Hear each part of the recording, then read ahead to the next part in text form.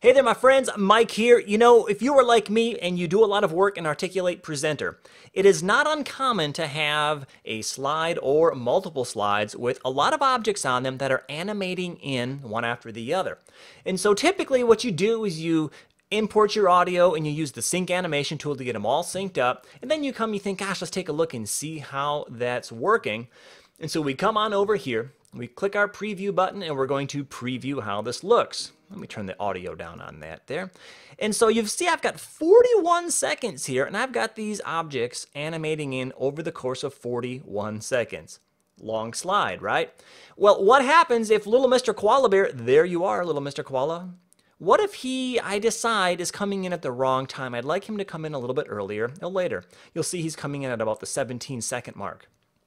Well, what I would typically do in the past is I would come back and I'd go to my sync animations and I would resync the entire slide. Now, that is eight animations, that's 41 seconds that I have to go through and wait to animate through, plus the save time. That's a lot of time, and if you're busy on a project that you're wasting, when all you want to do is just change and adjust one animation. Well, how do you do that? Well, here's a quick way. What you're going to do is this. First thing I'm going to do is I'm going to go to my selection pane here, and I'm going to see, all right, he is picture number seven. Okay, Mr. Koala is picture number seven.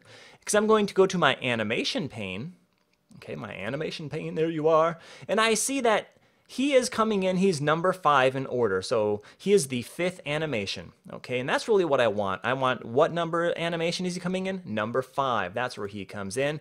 Because what we're going to do on our Articulate tab, we are not going to resync the animation. We're going to go to our audio editor. When the audio editor opens up, you'll see all of your slides in your project. And this one I've only got one, so it's pretty easy.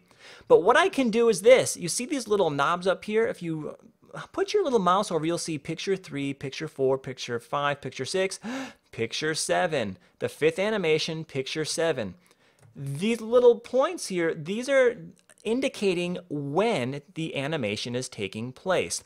So what I can do is I can take and adjust it right here. I can say I wanted him to come in a second later or a second earlier, maybe much later. Maybe I wanted him to come in at about the 18 and a half second mark.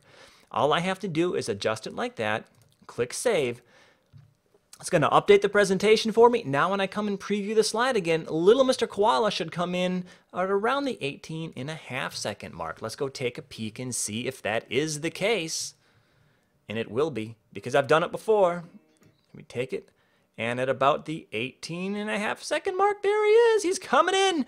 And now, instead of spending all of that time going through and doing the resyncing of the entire slide, all you have to do is go into your audio editor, grab that particular animation that you want to adjust, move it forward or backwards to where you want it to be, and click Save. Huge time saver when you're working with multiple slides and Articulate Presenter with a lot of objects that are animating in and syncing with the audio. Big, big time saver. All right, if you have any other questions about this or any other Articulate tools, come on over to the eLearning Heroes forums at articulate.com and we will do our best to help you out. Take care.